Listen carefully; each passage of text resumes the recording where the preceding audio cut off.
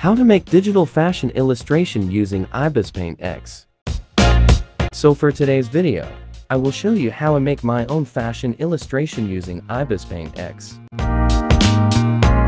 So without further ado, let's get on to the video. First, I draw my own fashion figure. For those who haven't watched my tutorial on how to make your own fashion figure, I'll link it in my description below. This is the base color of the gown and the outline. Feel free to pause the video to take a glimpse. We will now make the frame of our gown. Let's make the gown sexy and a little sultry with that slit.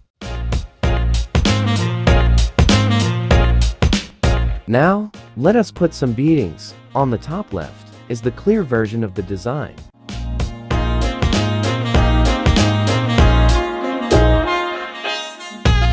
This is a darker shade of our base color used for shading our gown.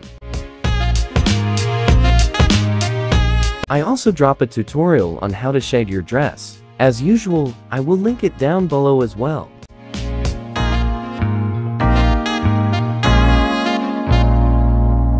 Let's put some sleeves. Don't be shy, put some more. Just look at the top left for the clear version.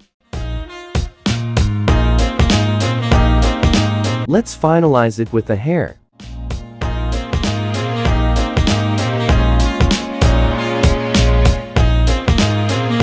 And just like that, you made your own fashion illustration. Thanks for watching, please like and subscribe to my channel, and I will see you on the next video.